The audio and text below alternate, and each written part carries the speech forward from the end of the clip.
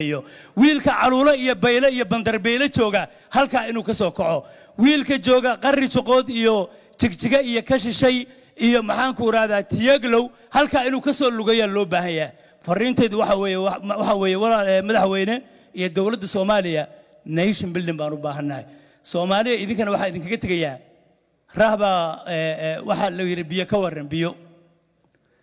Wuxuu yidhi biyo hadday waxtar leeyihiin bowdadooda ka fiiriya wax baruura ma igu aragtaan war qabyaalad hadday waxtar leedahay wakaa dhulkeenni maalinba qayb la qaadanayo qabyaalad hadday waxtar leedahay saan u gogo'nay ka fiiriya. Midnimo xuma hadday waxtar leedahay saan u ognahay ka fiiriya. Ma isku ognahay soomaalinimo? Waddaniyad islaamnimo? Dalkeenna inaan difaacno diyaar ma u nahay? Ma wada soconnaa? Qabyaaladda maxaad tidhaahdeen? Tafaraaruqa maxaad tidhaahdeen? Kala tagga maxaad tidhaahdeen aad iyo aad baa u oromana fariinteeda ugu dambaysa waxa weeye miyirku ha idiin soo noqdo soomaali dhulka ma qaadaysaan. Asalaamu calaykum.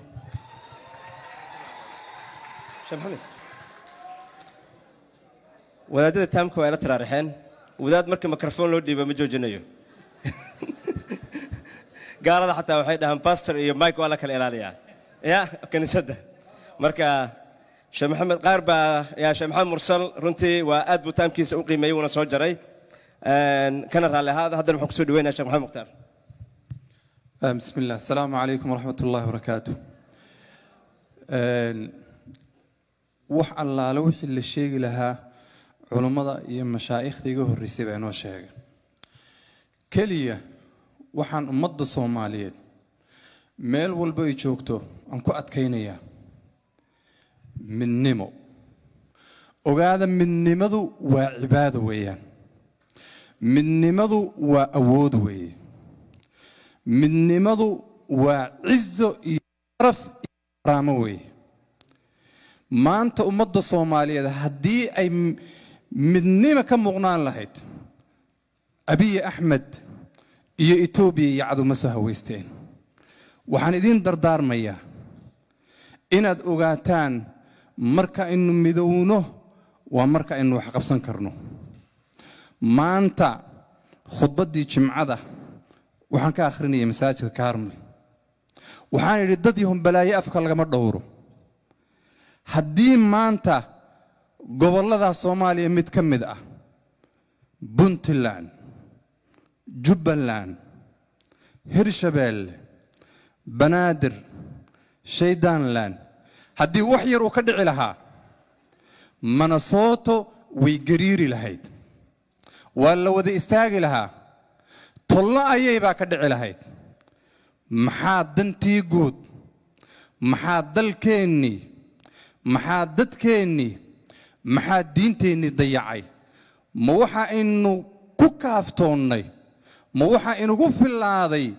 Qabiil walaalayaalow ma og tihiin inta luqadooda etoobiya laga hadlo inta diin ee wax weyn meeshaa taalla diin ma wadaagaan oo qabiil ma wadaagaan oo dhaqan ma wadaagaan.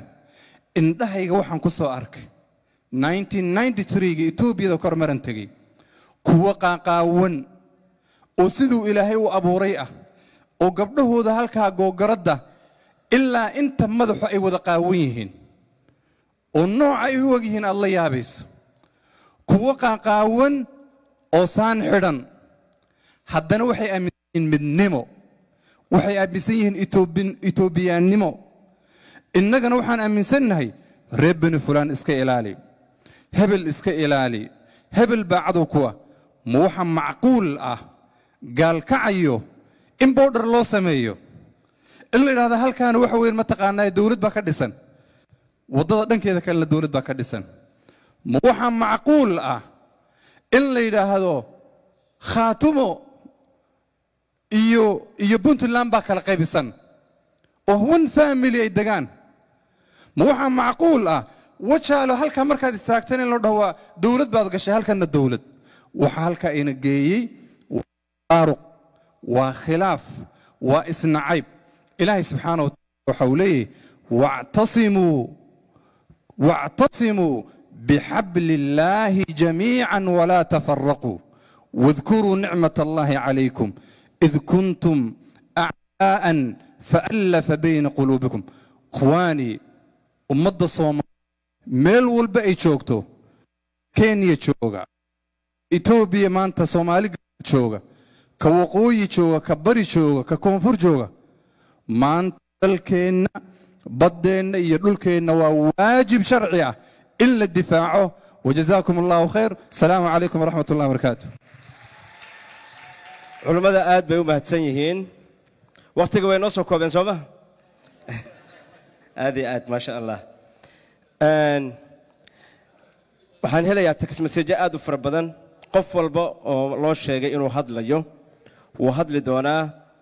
Laakiin barnaamijka sidaan ugu talagalnay oo loo kala horraysiinayay yuu ku soconaya. Insha allah waxa ka bedeli markaad mikrofoonka hayso breshar badan baana fuula oo ma aragtay. Waa idinkana arkaya. Marka ha noola dulqaato qof walboo la dhahay wuu hadlaya wuu hadlaya insha allah.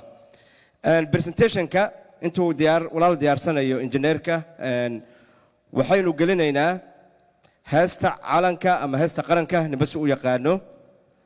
Music ma laha marka culummada iyo sandidin insha allah qolyaha controolka waxaan jecelnahay inay heesta qaranka noogu tuuraan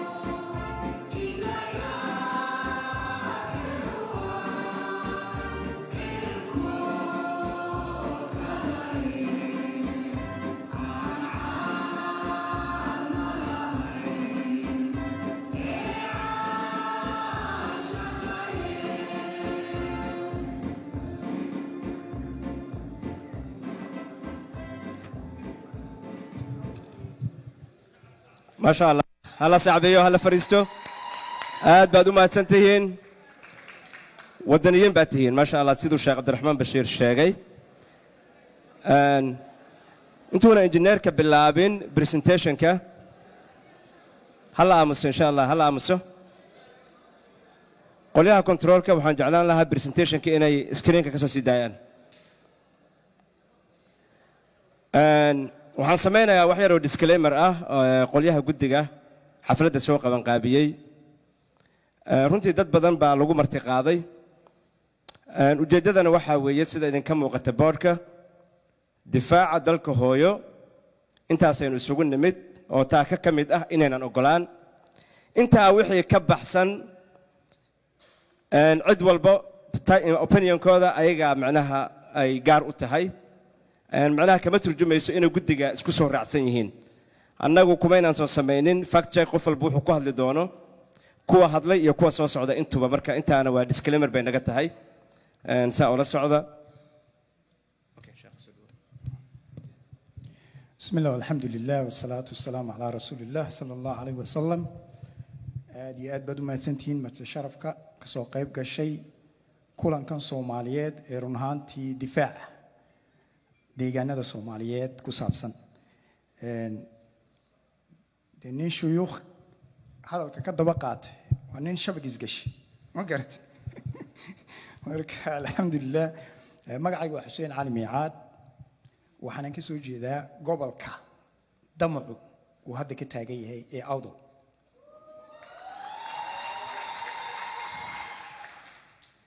sidaad u ogsoon tihiin soomaaliya marka laga hadlayo ma ahin tan hadda la la kala boobayo maahine waa soomaaliya siddeed iyo toban gobol ka koobnayd weji. Waxaynu isla ognahay soo maaha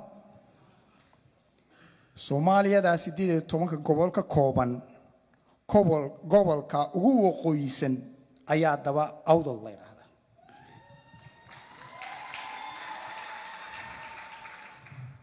Waxaan u taaganahay caawa bal in horta aynu baranno gobolkan la damacsan yahay muxuu yahay xagguu ku yaalaa ayaa degan cidday yihiin soomaalidan lagu tilmaamay. Shuyuukhdoo mida ayaa ku tilmaamay in xamashidu damacoogu uu kun iyo sagaal boqol iyo lixdanadii amba waxyaaladaas uu uu ahaa. Dib baan nii celinaya caawa. Qarnigii koob iyo tobanaad ayaan ini geynayaa iyo qarniyadii saddex iyo tobanaad. Iyo inta ka horreysayba haddaynu dad muslina nahay islaamnimadeennu taariikhda marka la eego the calendar islamic calendar wuxuu ka bilaabmaa xijrada soo mahay muslimiintuna sidaynu ku barannay islaamnimada historigu ay nagu barayso laba goorbay ay immigration ay galeen ay u kala gudbayeen makiya madiina iyo markii labaad oo ahayd wakhtigii uu nebi maxamed calayhi salaatu wasalaam uu asxaabihiisa uu u diray boqorkii uu ku ogaa etoobiya boqorkaas boqor kirishtiyaannimada aaminsan buu ahaa. Macnihii waa diintii ka horreysay islaamnimada ee la soo dejiyey oo daacad iyo dadnimo iyo xaq iyo xaquuq intaba garanayay kaasuu nebi maxamed calayhi salaatu wasalaam uu u diray asxaabihii ma og tihiin asxaabahaas xaggay ka yimaadeen xagga ay afrika ka soo galeen? Waa soomaaliya. Qaybta soomaaliya ay ka soo galeeni waa xaggaas. Magaalada saylac ee la hadal hayaay waa taas agteedana waxaa jira xeebo gasiirado saacaduun la yidhaahdo ninkii arkay baa arkay. Ilaahay nima dilasay ninkoonan arag. Haddii aad gasiiradahan caribianka aad chance u yeelateen inaad tagtiin this is the true paradise. Shimbirahan la yidhaahdo flama roska ee markay baadkooga caynka u kala bixiyaan hoostu ay cas tahay qaarna ay pink ay tahay. Ayaa laga helaa. Saa ma ogtiin? Waa deegaan soomaaliyeed somali territory switch.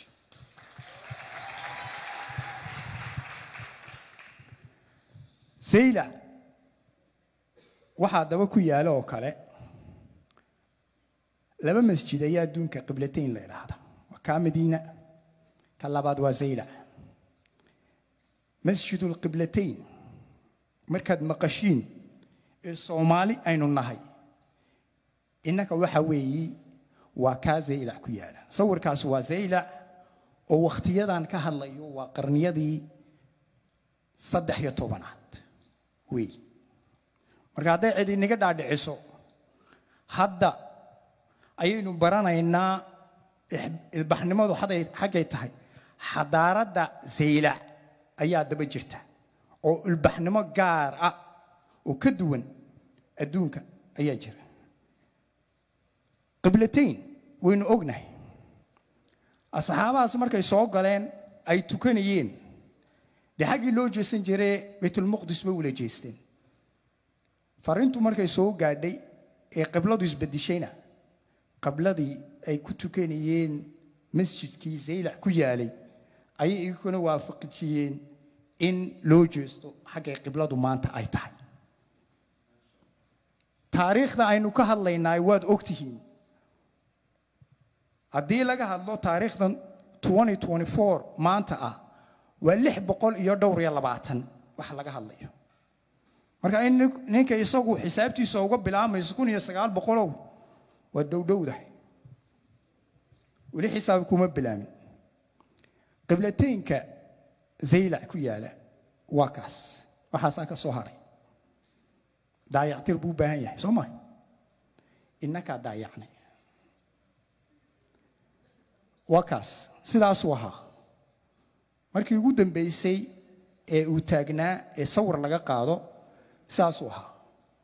Innakaa leh waa deegaan soomaaliyeed. Taasi ma gashaa in lagu marmo carabka ma la soo marin karaa waa la kirayn karaa iskaba ilow iibis. Xaggaas ayuu haddaba siyaasigii maanta ay la gashay dhuunigu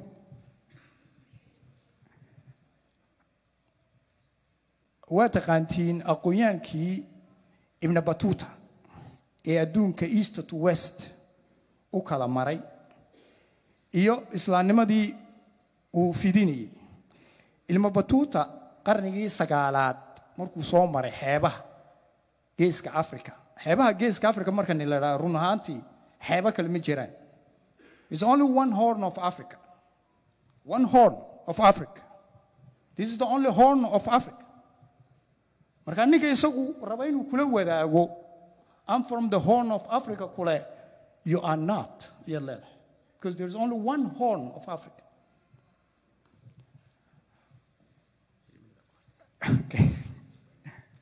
ibn batuuta wuxuu ugu tegey dad ilbaxnimo leh dad aqoon leh dad institutions leh.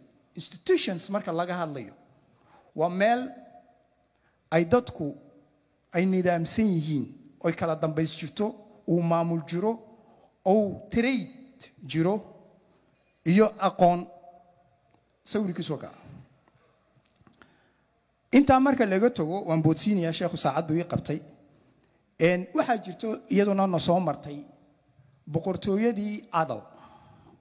Boqortooyadaasi masoo kama hadlay hadda waxay ahayd boqortooyada ka talisa geeska africa hadda ma ahin horn of africa geeska africa ayay ka talinaysay. Waa boqortooyadii ka talinaysa geeska africa qarnigii saddex tobanaad ilaa toddobiyo tobanaad.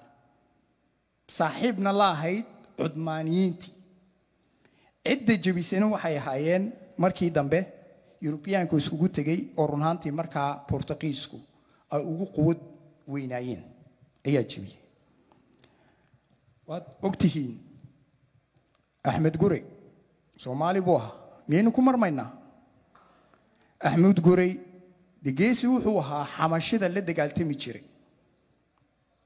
Mabdigiisuna wuxuu ahaa in caskartiisu ay tahay ummaddaa soomaaliyeed ee deggan geeska africa this is deegaan soomaaliyeed. Intaas marka la gooyo caskartiisa intaasuu ka rikruud garayn jiray sidaasuuna ku jebiyey xabashida. Saldhigiisuna wuxuu ahaa hareer taas maxay ka dhigan tahay? Saldhigiisu wuxuu ahaa herer macnihii waxay ku tilmaamaysaa in deegaanka soomaaliyeed uu herer ay tahay deegaan soomaaliyeed. Waayo inta nina kaale. That's a fact. Maahayn wax lagu marmayo. Bugaag badan baa jiro lagu qoray oo ninkii rabaa uu ka raadsan karo al-azhar jaamacadda ku taalla masar iyo jaamacadaha iraaq iyo suuriya. Waayo dadkii ugu horreeyey wax ku qora waxay ahaayeen dadka carabta ee aynu diinta wadaagno. Axmed gurey wuxuu staantaas ayaa jiraysa xamar. Markaan anu ku ogaa hadda inay jirto mooye aan ka soo gudbo. Adaltii shalay ayaa haddaba isku bedishay awdalta maanta laga hadal hayo. Adal tii la odhan jiray shal- shalay sidii loo jajafayey ee gumaystimo gumaysti kale uu uga dhexlayey ayay ku soo dambaysay awdal waa intaas. Intaa wey gacantayda ka saraysa. Awdalta nilii sheegayaa xagay ka soo bilaabmatayna waad ogtihiin. Intaasoo dhan bay haysatay. Wakhtigii adal empire stateka ugu weyn waxaa la odhan jiray ifaad capital citygeyguna wuxuu ahaa magaalada zaylac magaalo madaxdeedu. Magaalada zaylac waxay ahayd waddankan yaree la yidhaahdo sankabuur sida uu iminka uu u yahay south asia traafiga mara. Yacni marka laga hadlayo trade and commerce ayay ahayd zaylac oo ciddii hindiya u socota ay sii maraysay. Ciddii africa u socotana ay soo maraysay. Waa dhul soomaaliyeed. Damacu etoobiya ay leedahay maahan mid maanta bilaabmay waa mid qarnigii koob iyo tobanaad laga hayo. Ayaa ka difaacay qarnigii koob iyo tobanaadna. Allah u naxariisto ugaas nuur.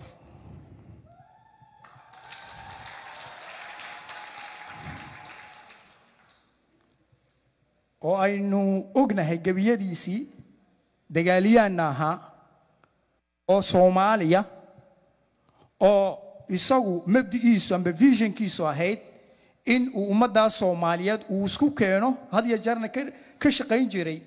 Dhexdhexaadinka iyo walijirka waa mediator ayuu ahaa. Waa qof had iyo jeer ka shaqeeya inay dadku aynay isku dhicin oy wala noolaadaan oo midnimada soomaaliyeed ay jirto. Gebiyadiisii caanka ahaa waxaa ka mid a gabaygaa hoosta ugu qoran. Allah nin ii daran ay ahayd. Waa gabay dheer waa lagu galgalayn karaa uuna jiraa intaan ka gudbo ugaas nuur wuxuu xitaa heer gaadhay in boqorkii baasha Is- ismaaciil baasha ee ka talin jiray qarnigaas koo iyo tobanaad masar inuu la fadhiisto oo ay ka wada xaajoodaan dowladda boqortooyada mililik ee etoobiya sidii iskaashi looga samaysan lahaa oo layskaga celin lahaa. Afar kun oo rag oo fardawata iyo qorigoogii oo hubaysan ayuu la galay etoobiya saasaana lagu jebiyey mililik iyo wixii soo raacayay bortuqiisku ugu horreeyo. Allahu akbar.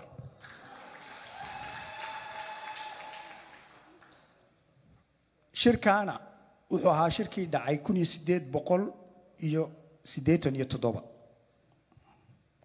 Inta haddaan ka gudbo oo kaa sawirkii ugaas nuur allah Een, waan soo koobayaa waan soo koobayaa eeg war la hel baa tala la helaabay tiraa soomaali soo maha haddaynaan baran dhulkeennu qiimaha uu leeyahay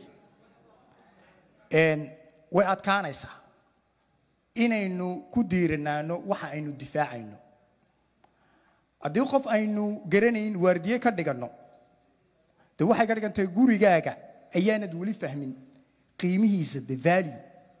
Waayo haddaad fahmi lahayd valuega gurigaagu leeyahay. Cid aanad garanayn waardiye kamaad dhigateen marka anoo soo koobaya waxa weeye xeebtani waa xeeb soomaaliyeed. Ninkii diidayaaba ha diido.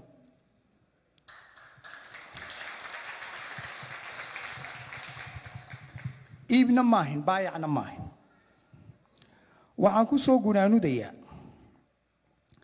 ingiriisku dhulka markuu haysan jiray iyo gumaysti kastaba waxay isku dayi jireen inay dadka divide and rule ay ku sameeyaan kala qaybi oo ku xukum.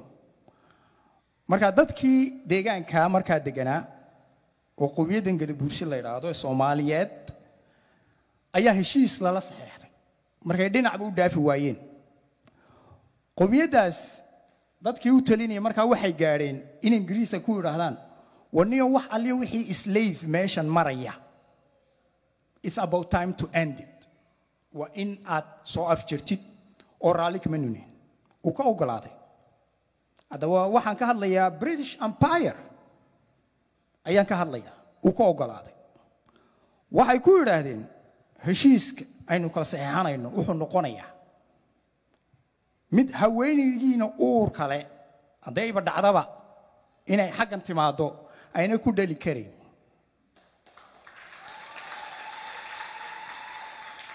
ma garat waxaa la yidhi kirana maahan mortgagena looma qaadan karo ma garat an evenes kaba dhaaf isaga marka tii oo aynu hayno heshiiskaa oo qoran oo ingiriis lala galay oo ingiriis uu saxeexay waxaa loo bixiyey by the way gadabursi treaty. Waayo qabiilka xaggaa markaa deganaa haddana degan uu ilaahay baday ayuu ingiriisku markaa uu ka maari waayey inuu heshiis la saxeexdo heshiiskii markaa u bixiyey. Ingiriiskii iyo qabiilkii waxay ku heshiiyeen treaty. Haddaad yar tusi kartid camera number three projectorka. Qaybta ugu hooseysa waa taas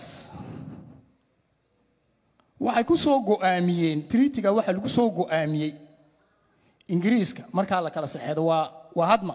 Maanta maaha oo kun iyo boqol afar siddeetan iyo afarkii ayaa lagu soo go'aamiyey intaas.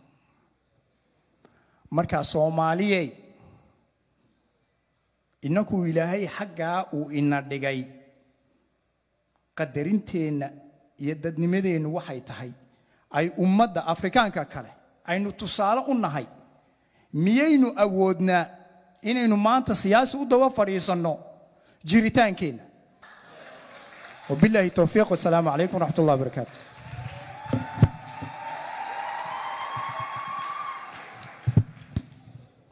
injineer xuseen cali miicaad mar kale u sacbiya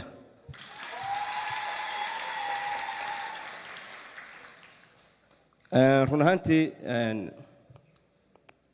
tritiga ugu dambeeyey aan hadda arkaynay inaan macnaha la iibin karin la kirayn karin dhulkaa isaga ah way ku caddahay xilligii ingiriiskaa la diiday. Ma haddaynu yeelaynaa? Hadda ma yeelayno. Waxaa nala jooga abwaan nimcaan hilaac asagana gabayo iyo waxaabuu noogu tuuri doonaa insha allah hase yeeshee marka ugu horeysa waxaan u yeerayaa odayaasha dhaqanka inta joogta qaar baa ii qoran imaam asad islow haddii uu joogo. Imaam asad islow ugaas maxamuud cunshur caaqil cabdulaahi raabi wuu ii muuqdaa. Maxamed doctor maxamed kayd professorka kurasoo fulo caaqilka aadan amiin haddii uu joogo doctor cabdulaahi irshaad wuu soo cudur daartay. Intaasaynu u yeeraynaa insha allah intii ka joogta aad soo fuuleen bodiumka ayagaa yaqaana si u kala hormarayaan.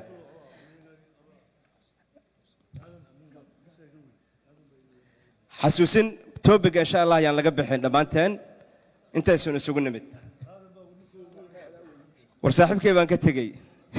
Miyir ugaas soo fuul kor ugaas miyir ugaas miyir kora soo fuulo kaale xaaji odayaashaada ka harin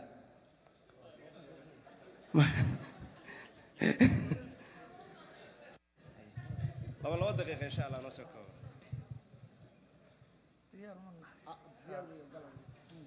بسم الله الرحمن الرحيم السلام عليكم ورحمة الله وبركاته akhyaarta xafladdan ka soo qayb gashay waan idin wada salaamayaa. Anugu dadkii horaan ahay oo iminka ka dabateg baan ahay. Waxaan idiin sheegayaa horta ummadda soomaaliyeed inta geeska afrika ku dhaqan waa dad nasiib badan. Waxaan ka mid nahay ummadaha kala duwane ku dhaqan suratul caalam. Adduunyada xundhurteeda waxaan leenahay baddheer waxaan leenahay berri webi iyo buuro iyo bannaan iskugu jira. Ilaahay horta isagaa weyne wuu inaga eed la'yahay nasiib baan leenahay horta inteenna halkan joogta iyo inta dhulkii joogtaaba. Qurbo joog qolqol joog. Haddaan imika soo gaadhnayba. Waayo dhulkaa intaa baaxad leeg oo buuraha xabashidu ay degto. Angeelii la gaadhi weyne beri hore aan ka gudbi lahayne. Oonan rivertana oo gaarisaas oo xagga kenya gaarisa magaalada la yidhahdo webiga ay saaran tahay taana la yidhaah. Taana geeleenni aan kala gudbi weyne. Inta imika aan degannahay magaca soomaaliyeed ku degannahay waan ka weynaan lahayn. Dhul ka badan baan haysan lahayn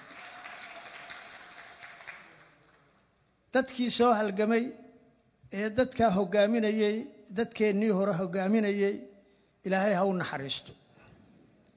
Iyo kaana dhulka intaa leegi nagu soo simay. Maanta oo aan joogay maalintay somalilan dhalatay.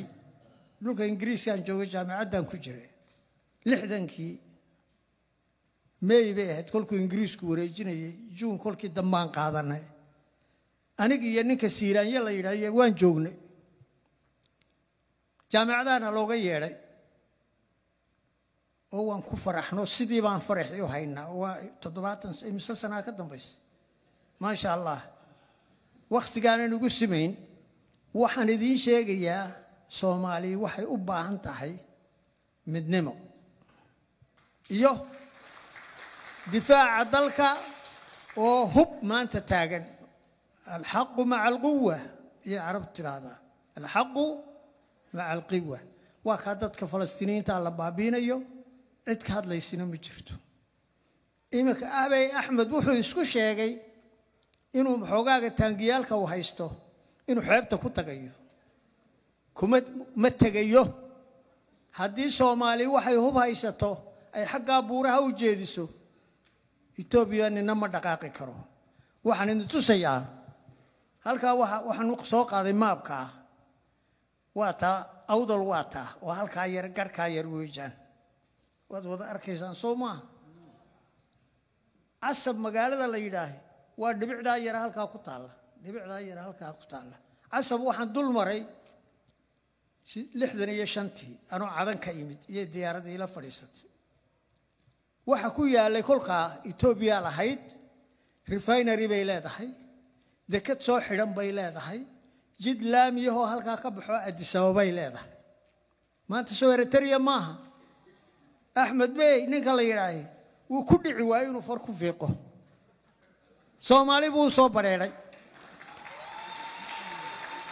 wuxuu ugu soo badheedhay dee gobollo waaweyn oo qabyaaladii ku fadhiyaan samaysanay oo madaxweynaha madaxweynaha aan ku heesno. Kolkaa ilaahay hadduu maantaina soo gaadhsiiyey aan qorigeenna qaadanno aan dhulkeenna difaacno aan aan lacagna iska ururinno. Assalaamu calaykum waraxmatullaahi wabarakaatu maasha allah oday eh, hadal xikmad badan buu ahaa. Haddana waxaan u yeerayaa eh, ugaas khaliifa cali shire. Eh, Haddaa magaciisa waa lii soo qoray laakiin liistada horaan ka waayay si gooni baa liigu qoray raalli ahaw السلام عليكم. آه، كبش عن قروح ضبضان قبن قاوي ياشا كسوق عيب قرر ياشا قاضي ياشا قبلها أغوي هنذا إنت كسوق عيب قرر شيء دقال كان. أنا وما أركو إنه وحكى لي إنه دقال يعني السلام عليكم ورحمة الله وبركاته. Culummada gooni aan u dhiganayaa waxay ahayd culummada markay dhammeeyeen inaan shirka xiranno. Wixii lagu daroo dhan waxay noqonayaan kabkab. Wixii cilmi jiray iyo wixii caqli jiray iyo wixii xuduud jirayba iyagaa noo sheegay. Marka khayr allaha ka siiyo hadda awalba hanuuniyaashii dadkay ahaayeen. Anigu waxaan qabaa baddeennu beec maaha ciiddeennu beec maaha dadkeennu beec maaha cirkeennu beec maaha dhulka aan leenahay beec maaha saylac waa meesha darinta soomaaliya laga soo laabo lagu geyn kara badda kale. Abi labaatan kilomitir iyo toban kilomitir midna ma rabin ee soomaaliyuu rabin. Saylac inuu ka soo bilaabu karo sababtuna maxay tahay? Dibaan idiin celiyo nin safaraxa wuxuu u yimid geel. Markaasuu yidhi wargeel ayaa la joogay. Wargeel ayaa la joogay. Ilaan anaa la jooguu yidhi markuu cidna waayay etoobiya baday rabtaa saylac way ka fa'weyn tahay sida la sheegay. Etoobiya waa bannaan tahay. Lughayo waa bannaan tahay. Berbere bannaanay u eg tahay. Kaabigayna ku haysaa warkaanu marka ninkan miskiinkaa waa la yskaga eed sheeganayaa ee ilan la joogay inaa la joogay weeye marka warkii abi laakiin soomaaliyuusan baranoo markii dagaalku dhacuu maqnaa isagu.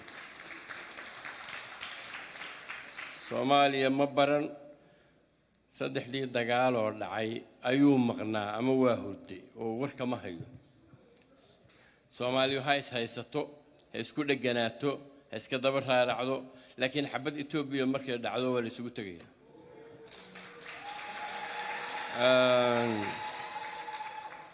waxaan qabaa kowdii ayay war ku dhawaaqeen. Labadii soomaaliyadii iskhilaafsaneed oo dhan waa midowday. Waysan isgacan qaadine hawaday ku midowday qalbigay ka midowday dagaalayna ku midowday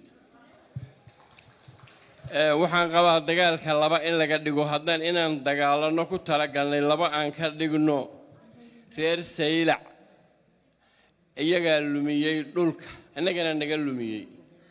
Reer lughaya iyagaa lumiyey dhulka. Innagana naga lumiyey. Dhulkii intaa joogay waa ku gartay. Waxay ahayd maanta marsada loo soo shaqo tago inay noqoto. Wiilashu ka shaqeeyaan gabdhuhu ka shaqeeyaan injineeradu ay dhisaan ayay ahayd. Lama hunguriyeeyeen oo yaa la jooga lama dhihin. Hadda waxaan qabaa inteennaan fadhida? Hal hal dollar isugu kaana dara. Dekadii inaan dhismo ka bilowno. Wax kale ma jiraan. Ninka dagaalamayey oo wiilka ah oo qoriga loo dhiibay aakaha iyo badiilka ha isku qaato meesha hana ka shaqeeyo hana difaaco. Wasalaamu calaykum waraxmatullahi wabarakatu ugaaska aad buu umaadsan ugaas raggaada la joog raggaada la joog waxyar ha dhammeeyaan ayagana maasha allah hadal xagmad badan. Geel ayaa la jooga waan ka helay midaas. Waxaan ku soo dhaweynayaa ugaas miyir saaxiibkey meelo badan baan isla fadhiisanaa runtii marka halmaam hadal kuma jiro. Asalaamu calaykum waraxmat ullaahi wabarakaatu welwelka la qabo anugu aad uma waafaqsani abi axmed waxaan u arkaa nin dhallinyaro ahoo maalinba wixii uu maskaxdiisu u maleeyo iskaga hadla. Nin xoog wax ku qabsan kara iyo nin xaalad wax ku qabsan kara midna uma arko. Etoobiya haddaydaan haddaad ka warqabtaan iyo haddaydaan ka warqabinba magaalo etoobiyuhu horta tegi kara jigjigi iyo addisabaa jirta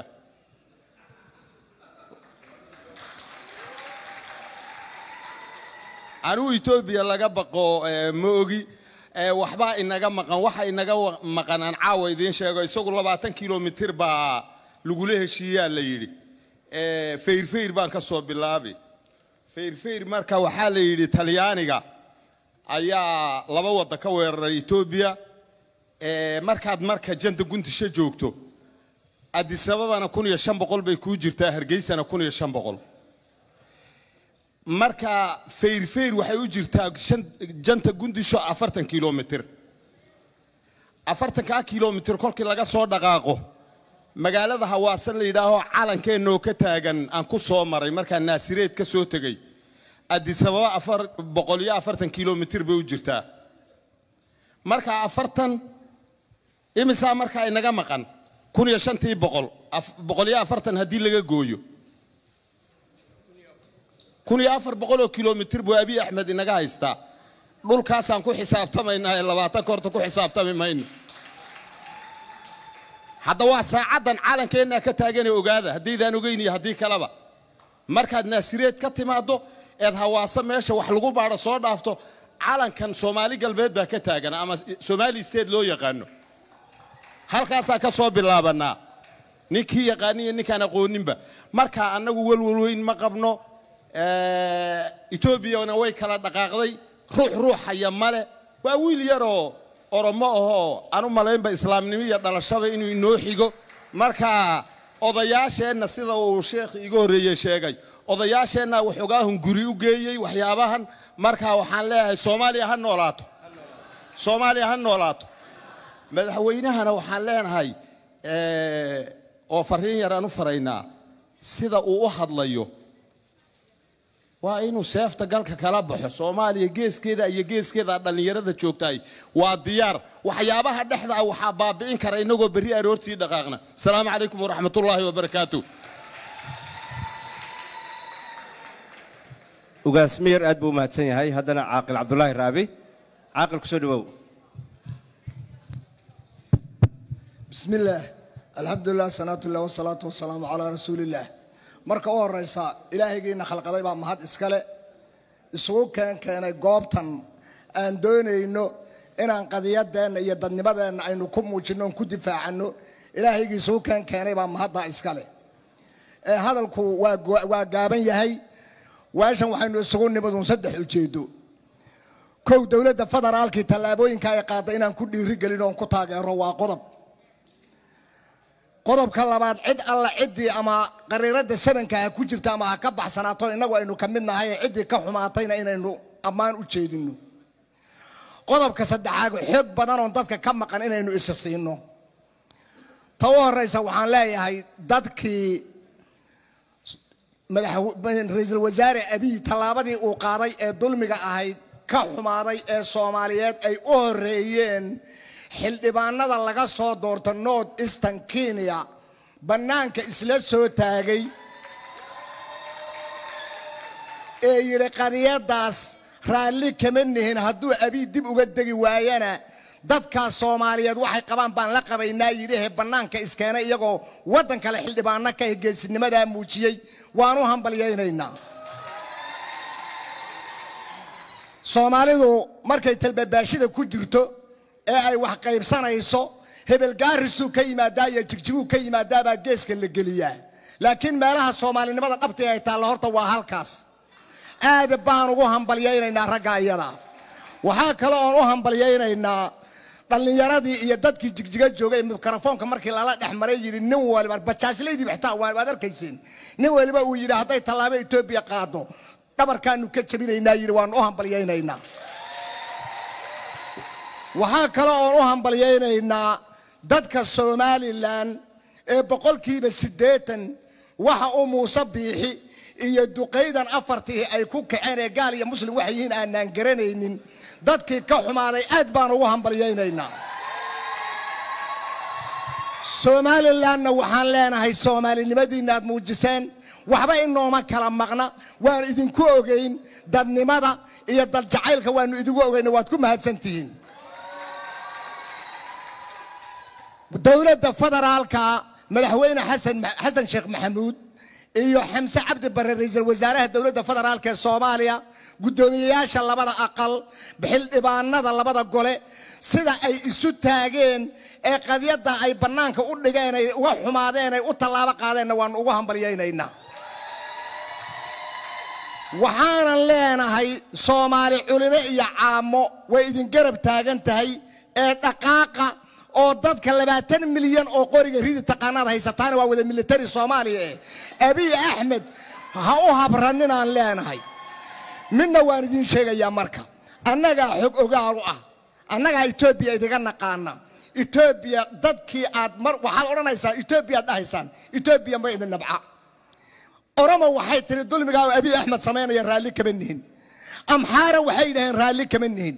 Tigree waxay dhaheen raalli kama nihin wiilkan yaree oromada in yaroo la kalluumaysato unbaa horta waxa wada isagaana isagaana dalkan ballaadhan ee etoobiya baaxaddiisii buu qaadi laayahayo wuu ku dhex haftay siyaasaddii etoobiya waxba ma qaadi karo. Intaana halkaasaan ku ekaynayaa. Waxaa kaloo u mahad celinayaa marka. Madaxweyne mustafa maxamed cumar madaxweynaha dowlad degaanka soomaalida oo ninkii khaatimo meesha isugu keenay ah oo ammaan mudan oo aan mudnayn in dhaliil loo jeediyo aad baan ugu hambalyaynayaa. Waxaanse ka soo hor jeedaa madaxweynaha dowladda federaalka soomaaliya shalay markuu garawa joogay. Xalay inuu u hoyday intelligensiga etoobiya ayuu ka cabsaduu ka baxay. Halkaan inaan wax ka sheegna waa la rabaa. Waxaa weeye marka soomaali haysu timaado guud iyo caaqilka aad buu mahadsan yahay. Waxaan ku soo dhoweynayaa haddana eh, aqoon-yahanka professor odayaasha dhaqankana ku jira kayd. Doctor soo awalan marka ugu horeysa asalaamu calaykum dhammaantiin. Marka xiga iga guddooma salaan gaara iyo salaan guud ahaaneedba dhammaantiin. Astaanta muuqata waa astaan soomaalinimo waa midnimadii soomaaliyeed waa shantii soomaaliyeed oo soo noolaaday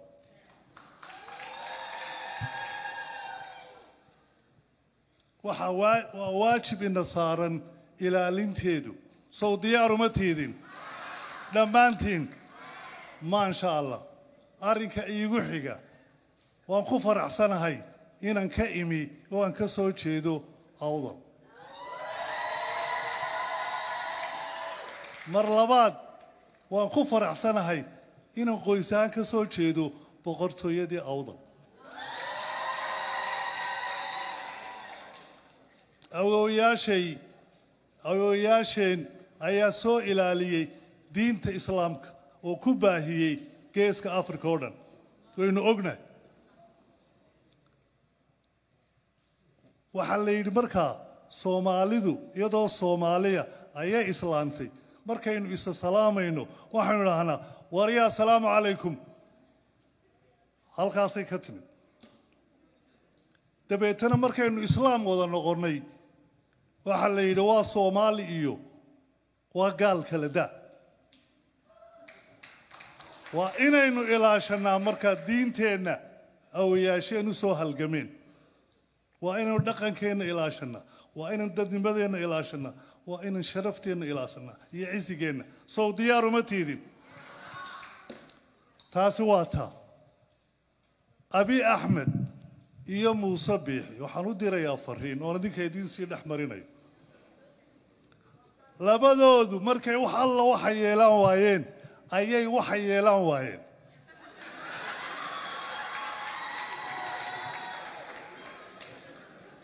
Waxay go'aansadeen inay gudcur gudaan waxay go'aansadeen inay qarda jeexaan.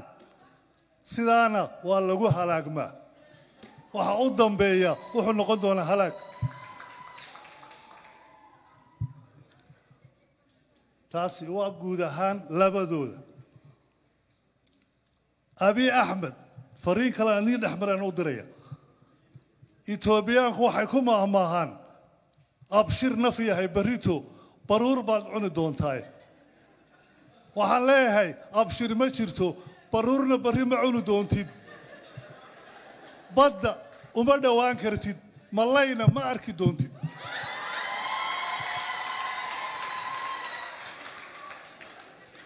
muuse biixi fariin baan u dirayaa aan idiin sii dhex marinaayo. Maadaama aanu tababarnay annagu camuud oo uu ka baxay dugsigii sare camuud waxaanu u tababarnay inuu bulshada u adeego khayr iyo wanaag ugu yeedho. Laakiin halkii lagu tababaray ayuu ka soo hor jeedsaday annagu markaa qofka xaddaafka noocaasa sameeya wixii aanu u dhignay waanu ka leefnay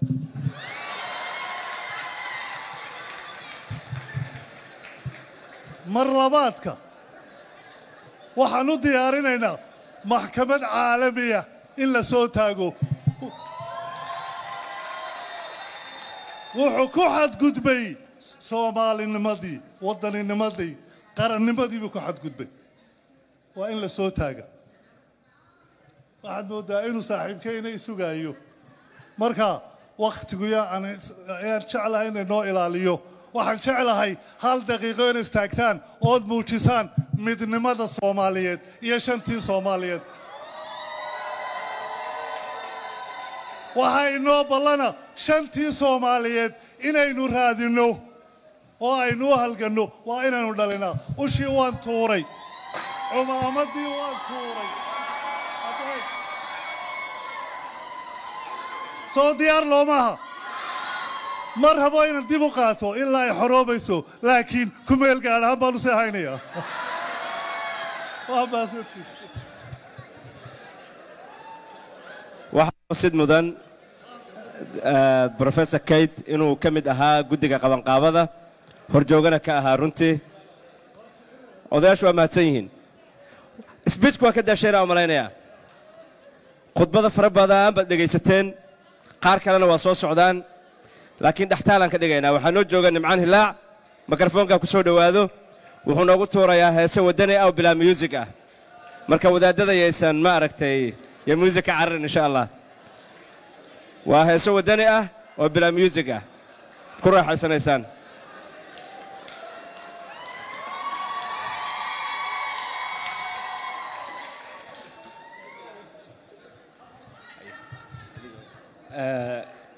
caawa darajadii heesaaga oo lay bedelo abwaan baa lay bixiyey. Awalan ilaahay baa mahad oo dhan iska leh. Inoo suurtogeliya caawa inaan isugu imaan. Munaasabaddan in quruxda badan aynu ku xoojinayno qarannimadeena iyo qabkeena. Dabcan caawa waxaa la yidhi de marka hore waxaad ku maawalin jiray muusigii oo iska daba wareeg. Caawa codkaaga kaasho? Ayaa ka dhacday. Waa salaamaya culammada waxgaradka iyo walaalaha soomaaliyeed mar kale. Ka xiga aan iskiin bare waxaa la yidhahaa nimcaan cabdiraxmaan xasan. Nimcaan hilaac baan ku magac dheerahay waxaan ahay dhallinyarada dambe ee dabcan de iska dhowrayaasha fanka iyo howlahan. Lugta kula jira. Waqtiyada qaarna waxaa ka mid ahay saamilada siyaasadda. Dhan kale haddaan dhigo waxaan ka soo jeedaa gobolka awdal caawa halkan u fadhidaan difaaciisa. Sidoo kale waxaan ka mid ahay dhallinyarada awdal ee ayidsan inay caradooda ay ka taagtaan calan iyagu leeyihiin oo ay kula loolamaan waa mahadsan tihiin dowladda dhexana ay dowlad tagaan. Reer awdal awalanba waxay ahaayeen bulsho soomaalinimada jecel. Taariikh badan oo ka sheekeeyo hadda ma jirto hortay baa laga soo wada sheekeeyo culamo iyo wax kale waa laga sheekeeyey. Soomaalinimo marka lagu abtirsanayo awdal baa laga soo bilaabi jiray lagana bilaabaa hadda haddii aad goboladan waqooyi aad u fiirsato intii la isku oran jiray somaliland de hadda ma wada joogto lagala teg reer soolo waa halkan uga hambalinayaa. Bulshada qurbaha ka timaadaa badanaa waxay aada u degi jireen boorama. Badankiin waad kulley boorama waad degan tihiin. Waxay noqotay magaalo soomaaliyeed. Soomaali baa dhisatay. Waa magaalada kenyana la isku abtirin inan ciidan waxaad moodaa se baryahan dambe markii la bilaabay filimka la odhan jiray urur soomaali. In xoogaha dabeyl yaroo aafaysanna soo gashay. Taasina ilaahay wuxuu u bixiyey dhallinyarada. Oo waxaanu isla garanay waxaasi ay wadaane kala dilka iyo afxumada iyo uurxumada ah. Inaanu weji mida oo kaga hortagno iyo magac soomaaliyeed. Markaa reer awdal. Mar kastaba waa astaan soomaaliyeed waa astaan qaran waa mahadsantihiin bulshada soomaaliyeedna waxaanu leenahay maanta waxaa nagu waajiba midnimo.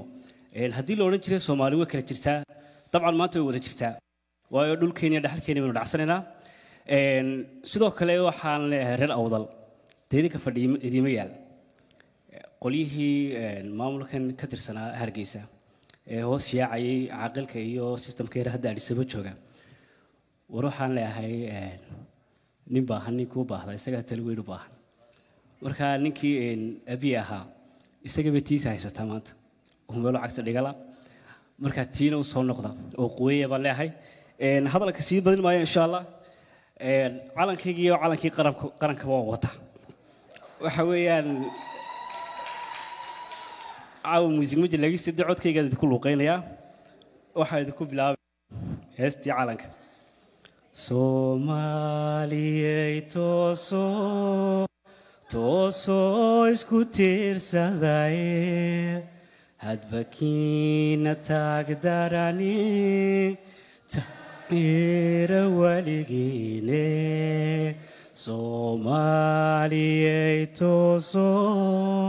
toosoo isku tiirsadaye hadba kiina taagdarani taageera weligiine waxaan la ooyaayo adooyiga qubataysa ikhtiyaani loo diido la doonsadaanahaye waad mahadsantihiin Eh, fadhiista idinku fogeyn maayo dabcan mid kale idinku darayo oo sugaanteedii wadaniyiinta ka mid ah wuxuu yidhi anigoo dal weyn iyo dowladnimo tis qaadiyo darajiyo lib heri kara. Degmo laygu koobiyo ducfi iyo hal niitiyo. Daandaan ma liqi karo. Anigoo dal weyn iyo dowladnimo tis darajiyo lib heli kara. Degma laygu koobiyo halniitiyo halniitiyo daandaan ma liqi karo dhibtayo duruuftana uu duloobi maaye nin kasta hadiide hadiide waxaan doonayaa nolol ka daaweyn intaan qabo midnimada dalkaygiyo waxaan doonayaa guul. Midnimada dalkaygiyo waxaan doonayaa guul. Wada deeqda unko unko dadku simayahay. Waan islaamayaa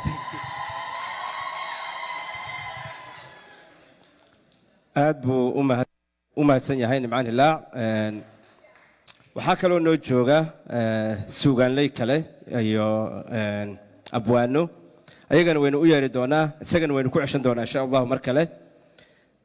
Waxaan filayaa in la gaaray kaalintii dumarka. Meela qabtaan? Dumarka weli maynan hadlin. Eh, waxaan u yeerayaa haddii ay joogaan inta joogta dr saxarlo nimco axmed fartuun xuseen cadar kaahin iyo shukri gamgam. Intaa hadday joogaan bodiamkaa soo fuulan insha allah.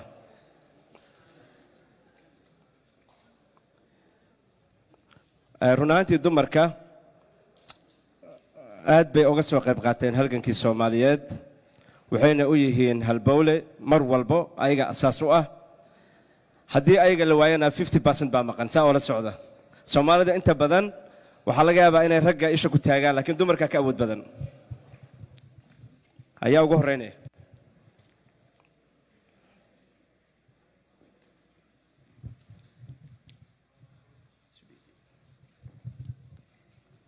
allahuma salli calaa sayidina moxamed wacalaa aalihi wasaxbihi wasalam assalaamu calaykum waraxmat ullaahi wabarakaatu dhammaantiin waxaan idinku salaamayaa.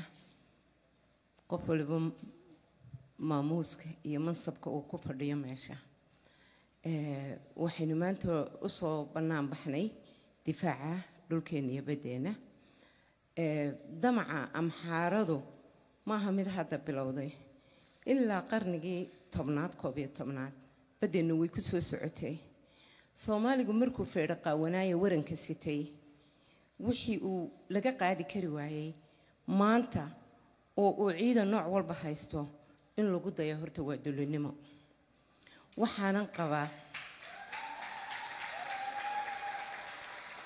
waxaa jirtay muddo lix iyo toban sano mise shan iyo toban sano ka hor ayaan article aan filayo inaan busfeed ku arkay inay amxaaradu iibsatay boqol iyo konton markab. Waxaan isritoloma elitariya ku rogaal celinayaan maxay tahay maraakiibta badba ma lehe? Marnaba cindigayga ma gelin. Soomaaliya ku dayayaan marka horta waa guuldaro guuldarradaana waxaa inoo asiibay. Markaynu inagu isnoqon weynay ee aynu gobol gobol dhulkeenna u goobaynay ee uu qofba qofka kale uu u gaatamay in la ina damaaciyo. Dee way imanaysay wabanaynu ogeyn. Halkan qofkii soo istaagaaba wuxuu ka hadlay abiy iyo damaciisa dabcu amii keli kuma aha. Dabcu waa damac ethoobiyan abasilian empirekiibaa tenth eleventh centurygii baadidoonkeeda ku jiray laakiin waxaan anigu qabaa soomaaliga maanta iyo soomaaliga maalintii way kala duwan yihiin soomaaligii maalintaa jiray soomaalidu dhaqan bay lahayd oo ragga way leeliyi jireen inanka geela hortiisaa oog loogu shidi jiray guurow geeraar gabay araar maxay haytoy suugaan.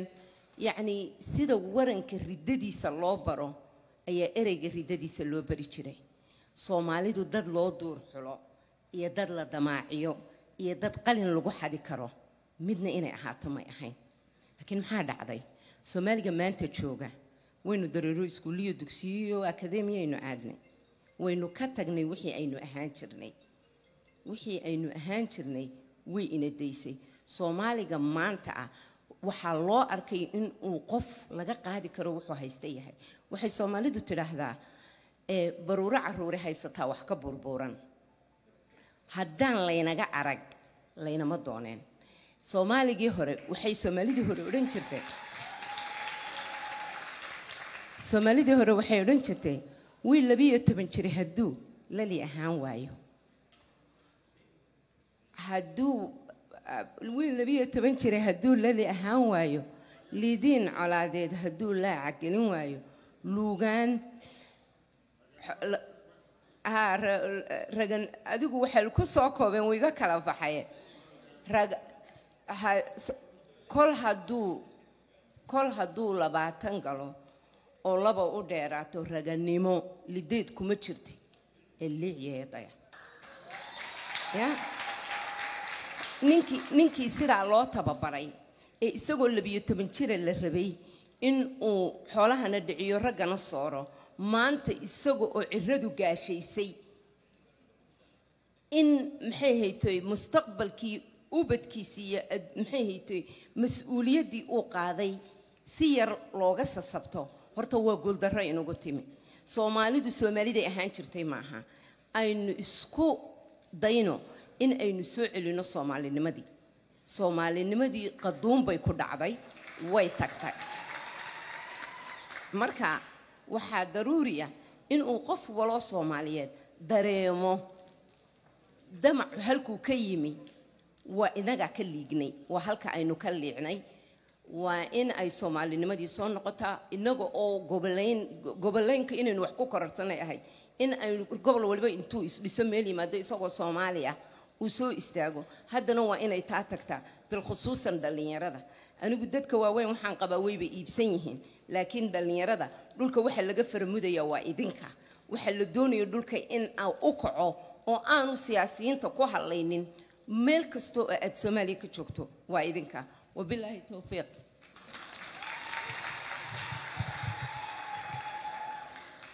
asalaamu calaykum waraxmatullaahi wabarakaat waa idin wada salaamay dhammaan. Intiina imaaday. Waxaan filayay dee guddideena markaan hawshaan een, qabaqaabinaynay waxaan isku haynay in convention centerka laga qabto. Waxaan isnahay maadaama minnesota la joogo magaaladii soomaalida la joogo arrintaana ay tahay arrin soomaali oo dhan u taalo waxaan filaynay ilaa dad toban kun ah inay soo baxdo. Unfortunately meesha haddeeto u jeedaa dad meelo badan baa qaawan hadday ahaan lahayd reer hebel iyo wax gobol loo sameynayo caaw intaan ka badan baad imaan lahayd marka minnesota waa meesha qurbaha soomaaliya markii laga soo tago ugu soomaalida badan.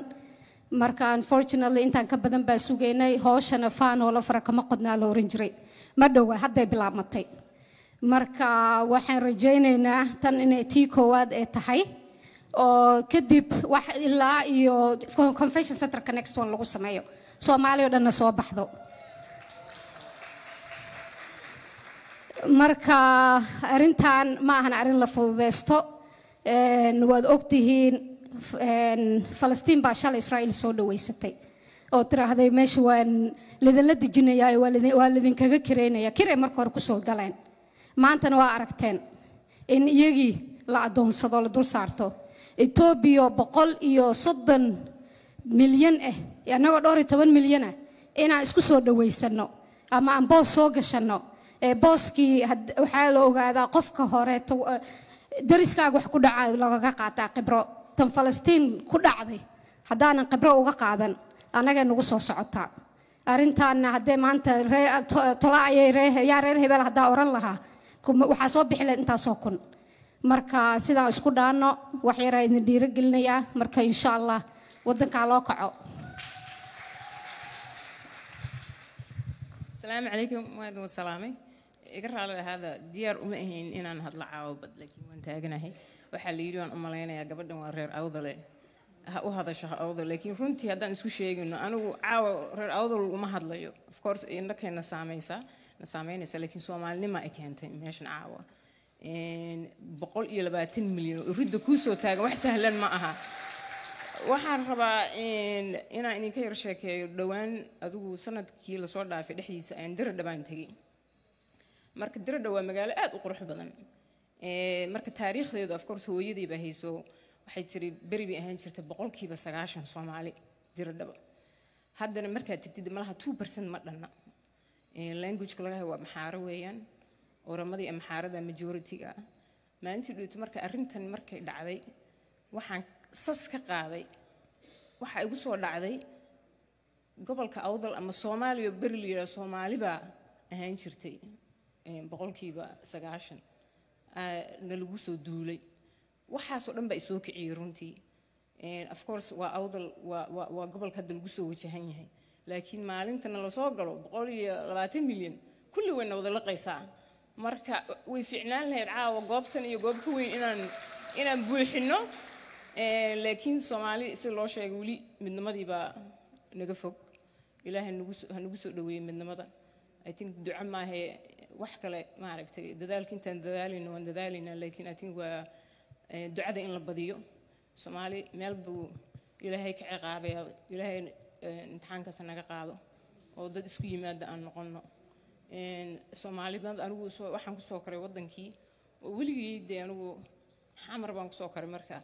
وح قبيل لجشي كين شل سومالي وح هيد وح لوفانو إن هذا وحنا تاجنا مل حوجا سومالي مدي يدي حتى مر مركا أذهكني سد مركا مقلش إنه صدنا يشان سنو ده الدولة لا وسسي قيبنا يا وشان مدحوين مل سوفر يسنا يعني يمل لح مدحوين. وح عقلي قلي معها و و وح لجحي شو هذا marka aad baad u mahadsantihiin horta.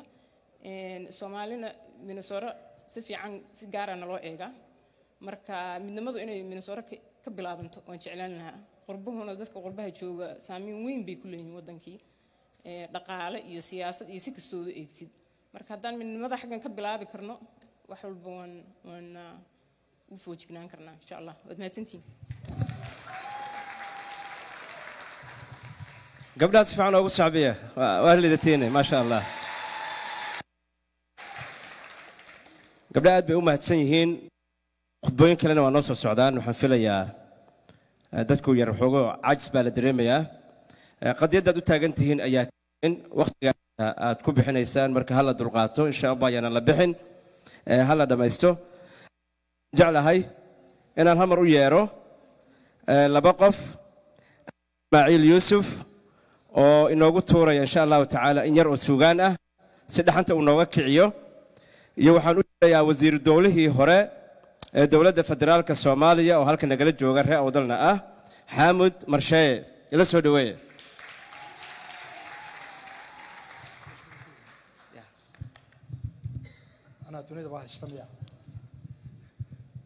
Eh, aniga halkan in laysoo taago runtii ma ahayn waayo bedel la iibiyey waxbaa iga soo gaadhay cidina cidina miyay midiya la soo cararaysaa. Okay.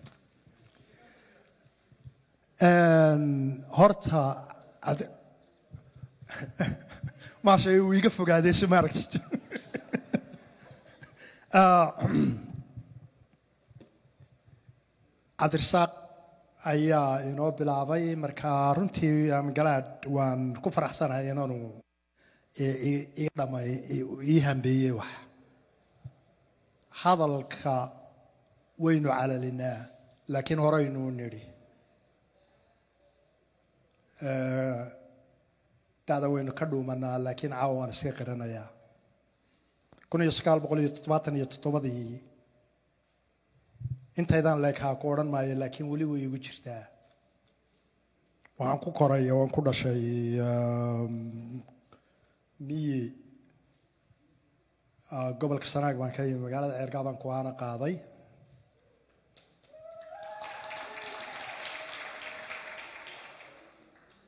Qaybta maqan iyo stateka iminka hadeerto qaybta la bixiyey labadubana qalbigayga si gooniya bay ugu taallaa.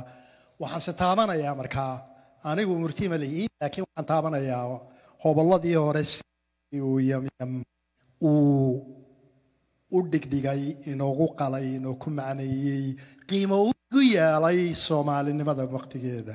Marka halkii baan ka qaadanayaa se yeeshee erayga uu ku bilaabaan ku bilaabayaa wuxuu yidhi waan aad iyo aad iyo aad ii damaqda.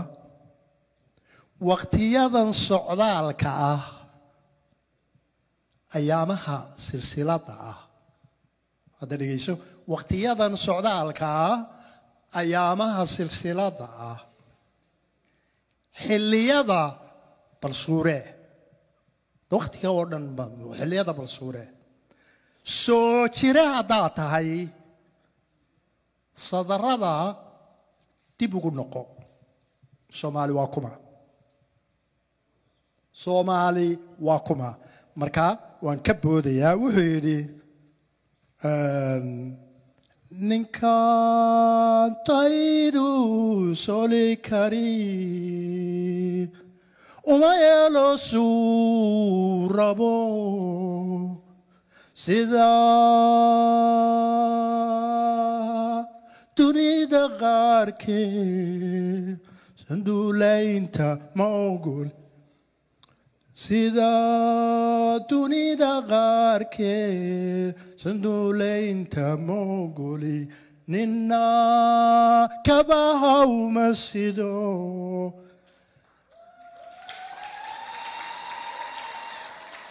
ninka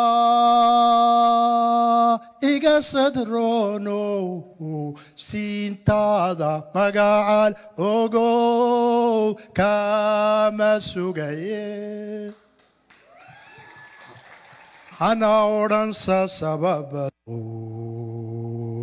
dareen seexda malihi. Soomaaliba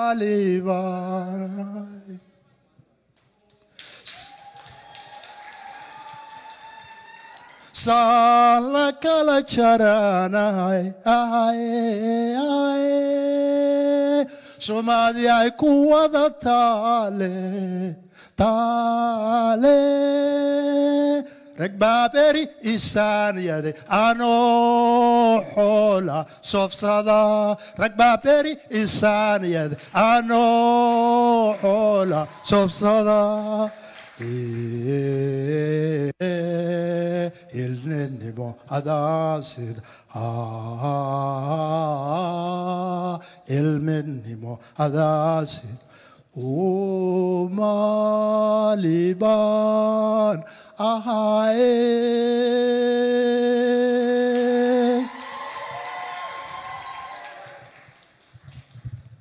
aad baad u mahadsan tahay waxaan ku soo dhawaynayaa. Maasha allah eh, axmed ismaaciil u sacbiya mar kale. Waxaa isoo gaaraysa in wasiirka warfaafinta dowladda federaalka soomaaliya uu qadka soo gelayo. Markuu diyaar noqdo waan ugu xiraynaa insha allah. Haddase waxaan ku soo dhawaynayaa wasiiru dowlihii hore ee dowladda federaalka soomaaliya eh, mr. Xaamud marshee aad baad umahadsantahay assalaamu calaykum waraxmat ullaahi wabarakaat giddigiinba waan islaamayaa soomaalida ii dhegaysanaysana waan aad baan u soo salaamayaa Een, ah, waxaan xasuustaa suugaantii allah u naxariistay jaamac kadiyo cilmi ou lahaa soomaali baan ahay inkastoo sabanadan saranseer la soo maray ama soomalhaadiyo jiray saxal rabbaaniyihi dadkuna sax iyo khalad kala saari waayeen ma saluuga sinjiga iyo magacoo soomaali baan ahay marka waxaan ku bilaabayaa soomaalinimada. Waxa weeye halkan waxaan aragnaa calan soomaaliyeed. Waa calankeenii dadku waxay yidhaahdeen shan soomaaliyeed baa jira. Afka la inoogu riday shan soomaaliyeed. Shan soomaali ma jirtee hal soomaaliyeed baa jira. Ingiriisku soomaali ma ahayn. Etoobiyaanku soomaali maaha talyaaniguna soomaali maaha intaasoo kenyaanku soomaali maaha sidaa u wad soomaali baynu nahay. Marka hal baynu nahay soomaaliya.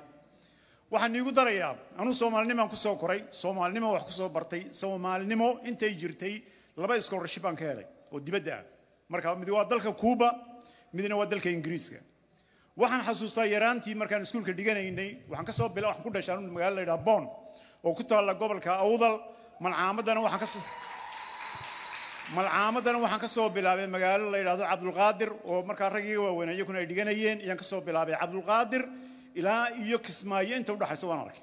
Muqdishona waan ku noolaaday. Marka waxa weeye soomaalinimada waan garanayaa iyo wanaaggeedii iyo siday ahayd. Anoo marka hadalka inii soo koobaya waxa weeye soomaalinimada aan ku soo koray iyo anoo garanaya yaraantii diyaaradaha etoobiyaanku siday noo garaaci jireen iyaan dalka kuuba tegey. Anoo markaa dhigta sanadka saddexaad jaamicadda hafaana ayaan u dulqaadan waagnay anigiyo dadan ku jirnaayey waxaan u jeedaa etoobiya ciidamadii ay u soo direen markaa u soo diray castro. Waan kacnay sagaal arday oon ku jirno mudaharaad baan ku dhignay wasaaraddii khaarijiga ee kuuba. Waxay nagu yidhaahdeen waddankiinni waxaan ku nidhi faashisiyaal baad tihiin ummaddayadii baad laynaysaan. Marka waxay idhaahdeen waddankiinni markaad ku noqotaan nacaay laga shahaadihiinna qaata waxaan nidhi waxba ma baran karnaba waayo dadkayagii baad laynaysaan. Sidii baanu soomaaliya ku soo nagu soo celiyo saa ugu soo noqonnay markii dambe jaamicaddiina nagama ay khasaarin ardaydii hadhayna markii dambaa loo yeedhay waayo dowlad baa jirtay. Markaa example kale aynu siinayna waxa weeye masalka kale. Anoo dhigtay jaamicadda manchester ee dalka ingiriiska ayaan tareen qaatay meel dover la yidhahan tegey belgiumkaan tegey waxaan ku socday ninan walnuhu markaa ku noolaa jarmanka waxaa iga soo horjeeday markaa tareenkii markaan belgium ka qaadanay ee reer jarmana shan bay ahaayeen oo ruux bay ka koobnaayeen qoys bay ahaayeen afkii ay ku hadlayeen man garan waayey. Waxa ugu sokeeyey markaa yar muxuu ahaa markaa shan iyo toban jir meelahaasa. Afkii baan weydiiyey maxaad ku hadlaysiin? Markaasaa wuxuu yidhi af jarman ma waxaan ku idhi markaa ma east germany baa tihiin mise west baa tihiin? Maya wuxuu "Ge- germany baan ka imid u diiday. Reerkiiba haddana reerkii oo dhan baa diiday. Marka waad arkaysaa inay diidayaan walaa west germany walaa east germany. Waayo wadannadii qabsaday baa magacan u bixiyey. Iyo ku jarman bay ahaayeen soomaalina waa saas oo kale. Magacan laynoo sheeg-sheega oo dhani waa waxba kuma jiraan soomaali baan nahay taasi waa taa. Ta kalean ku xijisiinaya waxa weeye. Laba shay oo kalean ku xijisiinaya. Midna waa dowladda soomaalida midna waa dowladda etoobiya Een, waan soo gaabinayaa hadalka. Dowladda soomaalida waxaan leeyahay waad mahadsan tihiin diblomaasiyad badan baad samayseen oo fiican. Laakiin anu waxaan filaayay maanta. Caleemasaarkii markii deni la caleemasaarayey madaxdii halkaa joogto oo dhan siday u socdaan inay laascaanood yimaadiin adduunka waxay tusi lahayd soomaali inay mid tahay waddan kale go una jirin. Dadkaana way sharfi lahayd reer s c ee soomaalinimada u taagan aad bay u sharfi lahayd. Taasina waa taa. Ta kale etoobiya aan leeyahay waxa weeye haddii la xisaabtamo oy soomaaliya etoobiya xisaabsanto cidda waxay ku maqan yihiin waa etoobiya wey cidda waxay kaga maqan yihiin waa etoobiya dhulkeennii oo dhan baa ku maqan. Marka maanta inuu dhulkeennii damco waa wax dembiya wey mid kalena aan iigu daro magaca etoobiya laynii sheegay etoobiya layni leeyahay. Kun iyo waxaan u jeedaa waxaan u jeedaa thirty three-gii baa la sameeyey. Soddonkii baa la sameeyey ilaa afar soddonkii etoobiya waa qofkii wejiga madoobaa. Afrika oo dhan baa la odhan jiray etoobiya marka magacan dowladihii markaa joogay ingiriiskii markay dhul badan ku soo fideen ayaa magacan loo bixiyey. Laakiinse iyagoo abasiini bay ahayn marka maanta waxa weeye haddii uu maanta abi doonaayo bada uu doonaayo uu leeyahay waddankaygu waa boqol iyo lix iyo labaatan milyan oo dadkiibaa igu batay oo dhaqaalahaygiibaa koraya. Xalku muxuu yahay? Xalku waxa weeye dadkii uu xoogga ku qabsaday inuu xoreeyo. Ee soomaali ka mid tahay orooma ka mid tahay sidaama ka mid tahay baalla ka mid tahay canfare ka mid tahay. Marka saiskiisii xajmigiisii runtii baa soo baxaya. Laakiinse waxa weeye ummad dhan baan qabsaday gurigaagii baan qaatay barandihiina waan u baahanahay waxayna qabta maaha. Marka waxaan leeyahay oo ku soo koobay hadalkii waxaa kaa horreeyey hortaa abiyow hitler oo ahaa jarmanka ah oo yidhi um, waxaan raadinayaa living space dhul moogtahay aan ku fido oo sidii jarmankuba waxaan u jeedaa faransiiskuba adduunka u qabsaday iyagoo sii dhacaya markaa sii gabaabsiba sii yahay isticmaarkii sidii ingiriisku yimid iyaan samayni oo anna waan qabsani oo waddannada jaarka oo dhan baan ku fidi waa living space waxay odhanayeen talyaaniga mussolini isna muxuu odhanayay vital space abi markaa muxuu keenay wuxuu keenay isna inuu yidhaha maritime space dhul badboodan ku fida ayaan rabaa kama duwana markaa hitler kama duwana mussolini hitler halkuu ku dambeeyey waan ognahay mussolini halkuu ku dambeeyey waan ognahay intoo la dilay baa laga soo meel laga soo laalaadiyey marka abi laftigiisu maadaama uu dhulbasti uu rabo aakhirka dambe maxay keeni doontaa etoobiya laftigeedu inay kala tegto iyay keeni doontaa marka ayuuna moodin arrinkan uu wado inuu guul ka gaari doono maantana wuxuu soo saaray. Maantadan laftigeeda xisbiga la yidhaahdo barwaaqo ee isagu madaxda ka yahay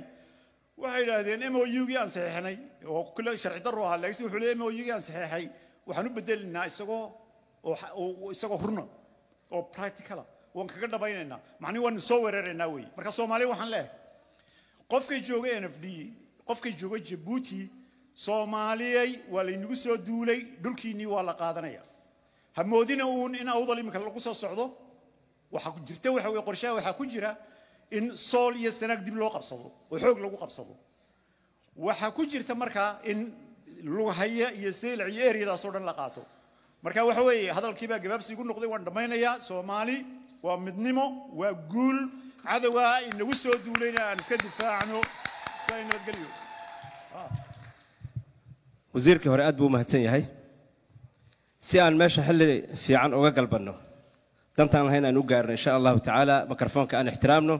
Eh, inta hartaan la hadlaya inta hore waa igu qaadeen. Waxaa qadka noogu jira wasiirka warfaafinta eh, wasaaradda warfaafinta dhaqanka iyo dalxiiska dowladda federaalka soomaaliya mudane daa'uud aweys asagana dhowr daqiiqa ayuu nala hadli doonaa. Wasiir ku soo dhawow haddaa i maqlaysid salaamantiin dhammaantiin si weyn eh, ayaan kaga mahadcelinaynaa soobaxan weyn aad eh, maanta ku dhigaysaan minnesota. Idinkoo ka soo horjeeda dardarada qaawan ee dowladda ethoobiya ay eh, u bareertay waxaan mar kale idin caddaynaynaa in dowladda soomaaliyeed ay ka go-an tahay diidmadeeda qayxan ee damaca ethoobiya islamarkaana amarnaba la aqbali doonin in la haweysto taako ka mid a dhulkeena soomaaliya horumarba u taagan tahay derisnimo wanaagsan iyo iskaashi لكن ما كيد على هدود ابنو عنا كلا مرنب ميلينو وحان إلالني ناس مكة انتفاعينا قرن مدى ودجيركا يمد هبعنا دولة جمهورية فدرالك سومانيا وحان نشيقين دولة إيتوبيا وغانا تلينا إن يكوان تولو. فرالك عيوضو هو قدما ينبض دولك يعلمك انتي ستربا مكة لو الكلمة لإلنا ياسيلة ودرن مدى له أجل مجسين درين كينا كوعدا إلالين تقرن مدى سومانيا waxaan idin rajaynayaa guul soomaaliya ha noolaato soomaaliya ha guulaysato mar kale mahadsanidin wacalaykum assalaam waraxmatullaahi wabarakaatu aad baad u mahadsan tahay maasha allah Eh, mudane wasiir waan kaaga mahad celinaynaa inaad khadka noo soo gasho iyadoo xilli aroor hore ay ku tahay hadda. Waa tahay Eh, waxaa goordhow lii sheegay inay joogaan somali museum dance troup heesaha ama ciyaaraha hidaha iyo dhaqanka qaada music ah. Haddaad ansixisaan waa soo dhowaynaynaa sayliciga jaandeerta dhaantada ma ansixinaysaan? Hadduu waqtiga idinku dheeraanayn waa tahay. Waxaan u yeerayaa midowda jaalidyaha soomaaliyeed dhammaantood say u dhan yihiin. Cabaar bayna sugayaan iyagana. Aqoon-yahankiibaa iyo baa ka sii dambeeya mulki xuseen oo matalaysa jaaliyadda eh, maamul goboleedka dowladda puntland. Shucayb sheekh cali oo isna matalaya maamul goboleedka jubbaland. Ducaale haddii uu joogo oo maamul goboleedka waxaa matalaysa mulki. Liibaan ma joogaa maamul goboleedka koonfur galbeed soomaaliya.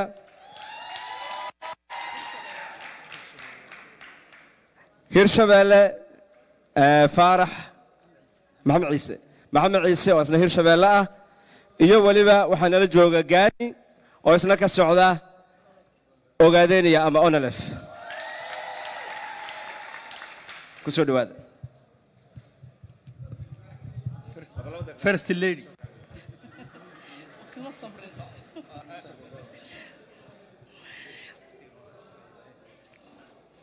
asalaamu calaykum waraxmatullaahi wabarakaatu. Dhammaantiin waa idin salaamaynaa. Inta hadda halkan nala joogta soomaaliya intana daawanaysaba um, waxaan ku hadlayaa magaca midowga jaaliyadaha soomaaliyeed. Waxaan ahay guddoomiye ku-xigeenka midowga jaaliyadaha soomaaliyeed. Guddoomiyihiisuna uu yahay ah, ducaale oo naga maqan. En, waxaan maanta halkan isugu nimaanay iyadoo waqti qabooba tahay. Ah, faarax mire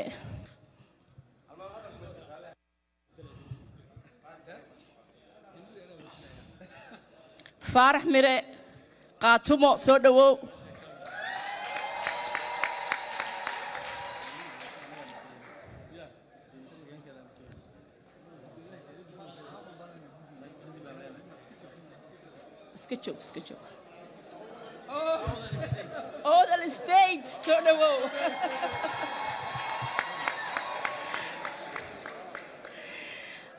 midowga jaaliyadaha soomaaliyeed um, waxaan rajaynaynaa soomaaliya. Markaan brograam aan samaynaynay jaaliyadan waxaan rajaynaynaa inay soomaali sidaan qurbaha ugu midownay inay iyaguna gudaha ugu midoobaan.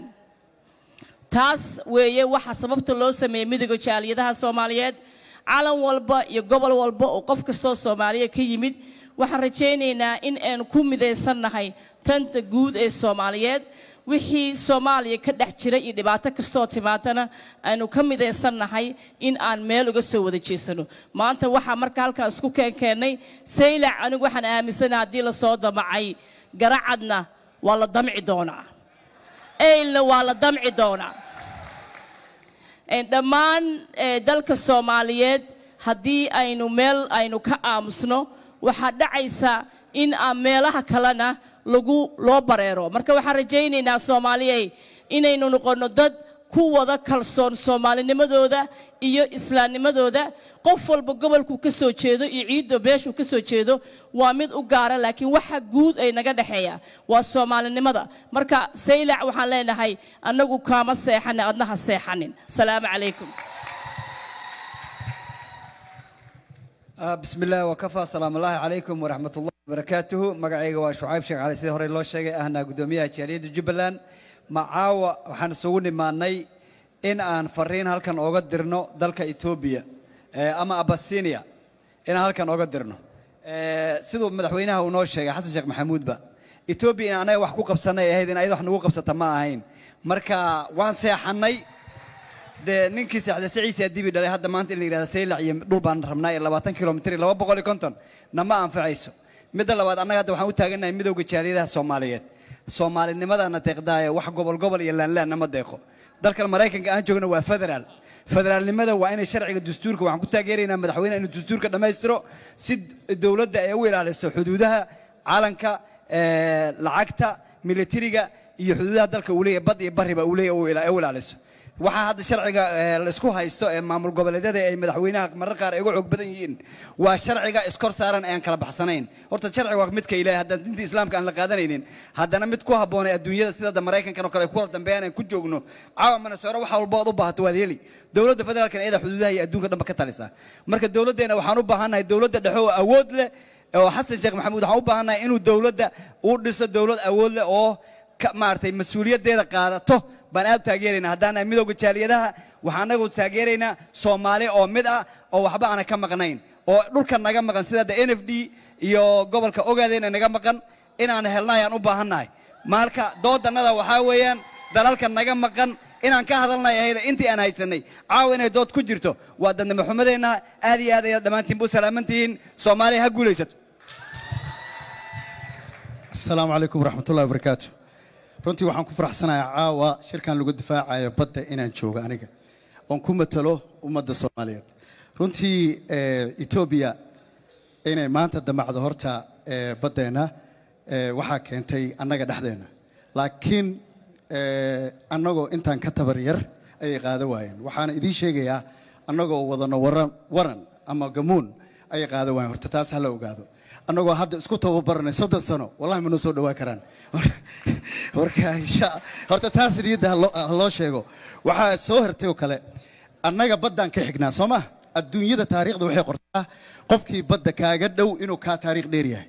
Annaga taariikh qorin laakiin waxaa cad inaan intaasoo sano inaan intaasoo sano kaga difaacaynaa caqli iyo maskax. Maantana mana soo dhawaa karaan laakiin waxaa niyadda iga soo gashay inay ahayd inay confusionna dhex dhigaan. Laakiin hadday runka tahay runtii cid haraysa male intay gabar naga nooshahayne wallaahi baddeena taaka inaan dhiibaynin waxaan rabaa inaan ku soo gabagabeeyey marka. Hadda ka hor maraan los angeles deganaa waxaa dhacday in aeroboortka los angeles uu rabay inuu karaysto badda. Maadaama uu cariiri yahay aeroboortka busy uu yahay waxay damceen inay badda geliyaan eh, runwaygii markay naqshadii sameeyeen citigaa diiday marka citigaa yidhi maya ma samaynaysiin sababtoo ah waxay dhaheen badda waa hibe ilaahay lama taabtaan waayo marka maanta macaadallaahi in annaga baddeena kiri iyo loogu sheekeeyo mas- ma dhacayso los angeles waxay ku talisay intii badda runway la saari lahaa waa in la ge- la dumiyaa magaalooyin ku dhegano balaya del rey mariin del rey la dhaho sababtoo ah waxay dhaheen baddan waa gifti giftina ma taabanayno wasalaamu calaykum waraxmatullahi wabarakaatu السلام عليكم ورحمة الله وبركاته akhyaarto sharafta leh in raabta hadiiga eediyadan ka faraxsana inaanaxa ku qayb gala munaasabadun oo laka ka hor jeeda adowgii waddanka ha ka duuli. Eh, runtii haddii una ana anoo ah wakiilka koonfur galbeed oo wiliba mayle raay etoobiyaanka ciidinshay madaxweynagaanaba sheegay xafiiskan waardeyahay maana ogolaadan maanan ogolaadan taaka intii usumayl araay badaan hagala. Ee, runtii etoobiya mayba ku faa'iidaysatay duleel duleel dhataana eh. Unu dhataano mayl araay mar kastaba kan ayu kan aw garasu kan aw faadamu kan siduu unu olen reer aw fatiirulen yana noo faa'iidaysadi marka maylaniin ku baahinyaba ini mayle araay iska tiirsanan ul i diirshanaganan dhinigo hasku ku jeesanan sidii mayle araay etoobiya iyone ayaansha dhanba mirhan ogolaasamale markaas may kala siin sheegay soomaali geeka arantun naftirje abii wala hadlaaytiya isliye laakiin wala suubi sababtoo ee unuba anas sheeni maamanas koyfan laakiin geeka unaniskoyowkii kana may dhihi doontee ini may leeraay etoobiya buuna gobsado doongdhan diyaar mangihiidan anti etoobiya la gobsado diyaar etina waddankanti la difaaca diyaar etina jaaliyadda haddii una ana jaaliyaddii wakiilade may diyaaran ena. Ini una beesa aruurina isiigna may siin ku fadaane beesadii dagaal laka gala lahay shan dollar may laka dhamay kafay starbucks laka heraab kasta nan kasta shan doolara dhammahay shantaas doolar isku gooyoy meel dhikoy baddi halka difaaco ciidamada halan diroy diyaar walangaya asalaamu calaykum waraxmatullahi wabarakaatu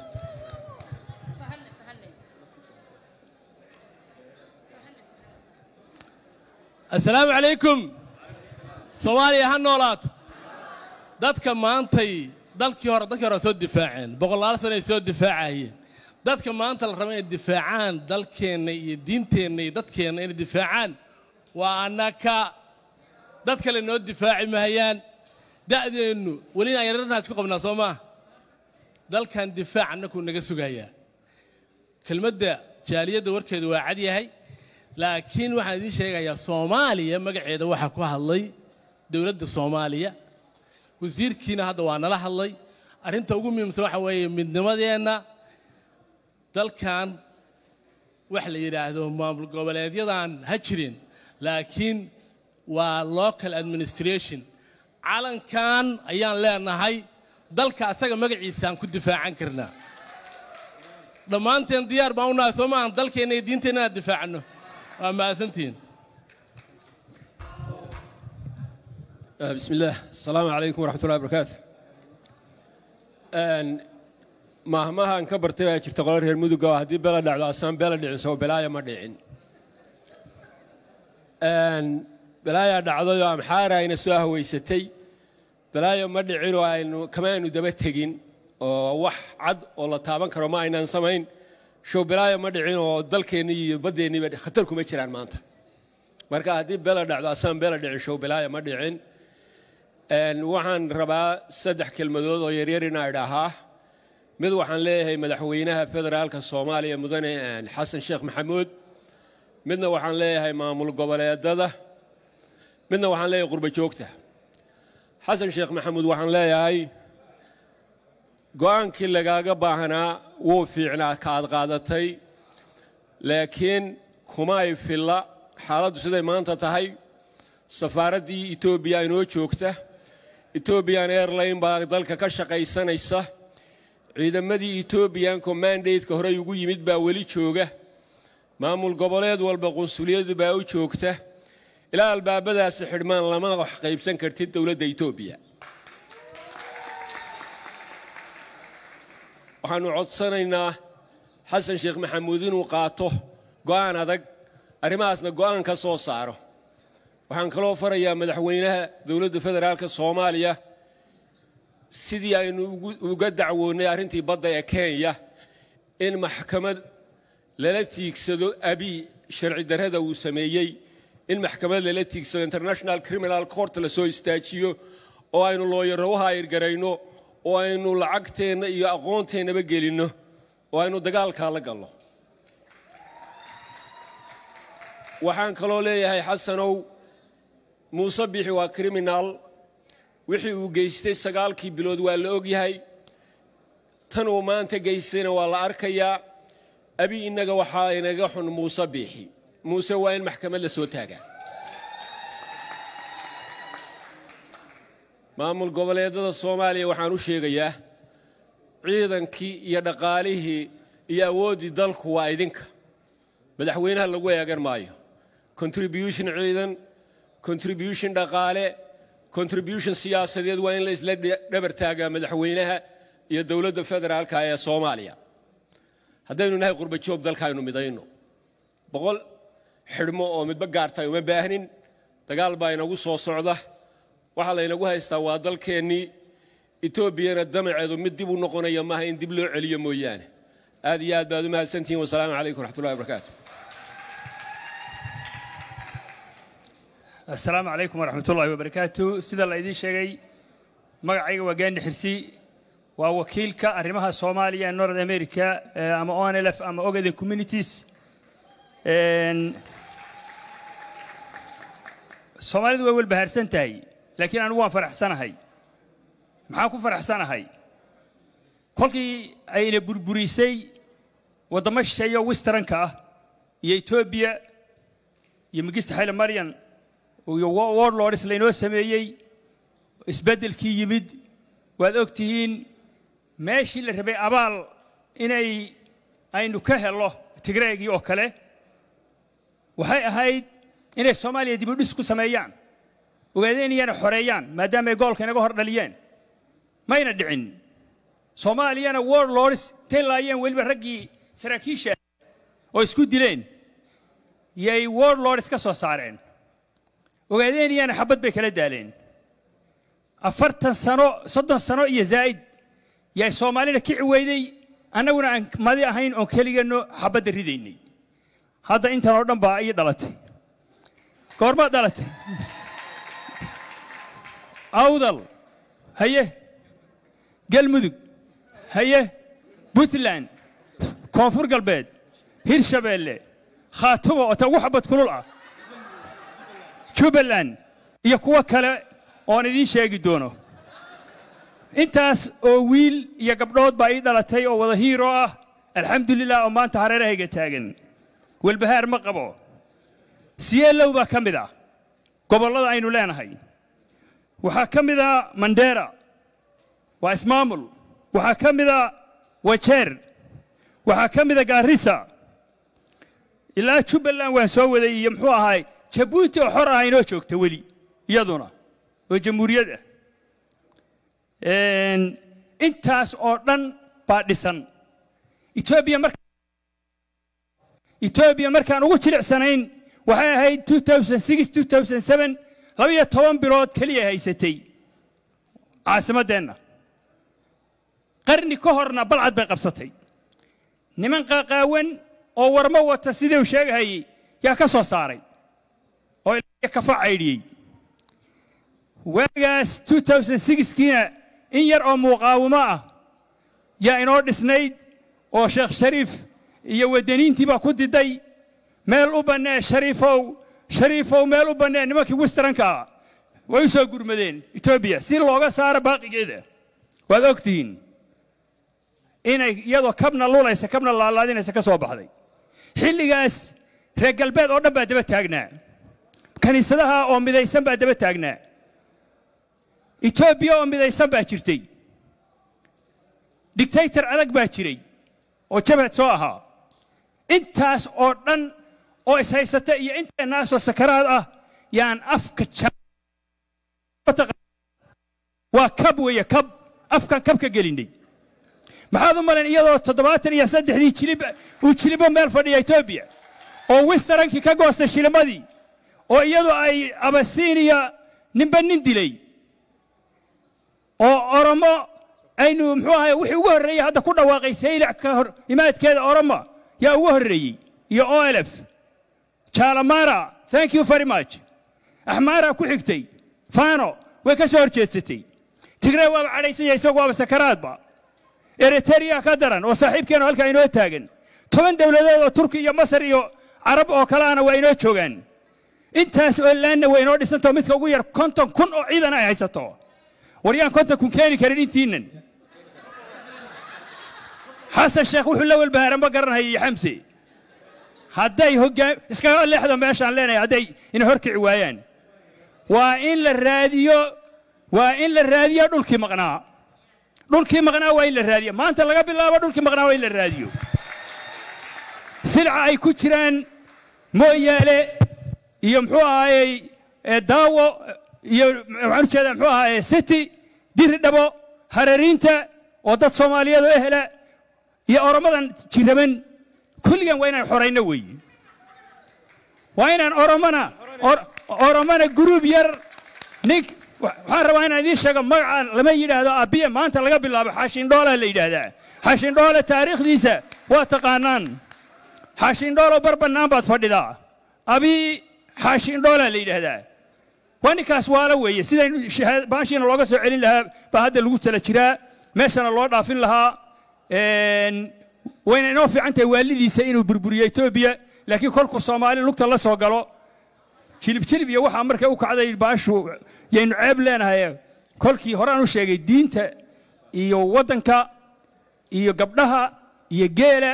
Soomaali markii laga taabto ninkii taabta aabbihii baa la gubi ingiriis muxuu aaday? Geela negigu xareeyey buu aaday. Calaa kulli xaal waxaan ku soo gebagabaynayaa aad iyo aad baad u mahadsantihin meelaad joogtaanba. Soomaaliya ha israacdo. Soomaaliya ha israacdo. Calankaasaa inoo wada dhexeeya. Inta maqanna aynu raadinno innagaana ceebta leh si aan mar dambe dalkeenna loo soo hawaysan waad mahadsantihin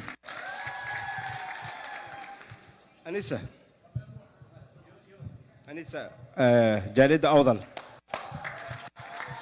السلام عليكم ما أنت واحد هذا يسدد محل إذا ما من قبلات كأوضة وصعبتما واد ما هتسنتين هرت لما أنتين بعد آد يا آد لما أنبا ما من قبلات هذا شرفت بدن له اسكوجي يمدي هالكن وأنا ما هاد نقيا سومالي وين نسي أردن تاعي إلى هي كرها waanad mahadsan tihiin horda badda saylac ee la qaadanayaa waa tallaabadii u horraysay waa halkii soomaali laga soo abaari lahaa.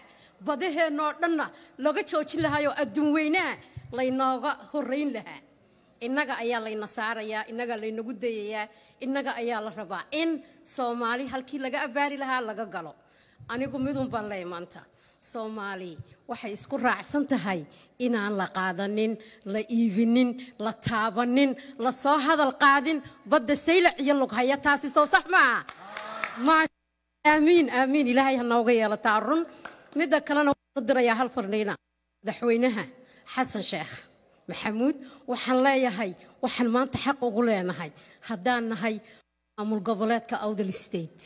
Inaad na siiso ismaamulkayaga ma aha in la sugo inay xabadi dhacdo sidii khaatumo dagaalka ay u gashay ee lagu daawanayay soomaali oo dhanna ay markhaatiga ka ahayd. Intuu wiil dhiman lahaa waad mahadsantihiin intuu wiil ku dhiman lahaa ee xabad kulul layskaga qaadi lahaa waxaan leeyahay kaa xaaraan maaha inaad timaado magaalada saylac ood ciidanka soomaaliyeed ay difaacaan wadanka siduu u dhan yahay oo qooyi ilaa koonfur. Lagu xidhnaadaa sharci ma aha.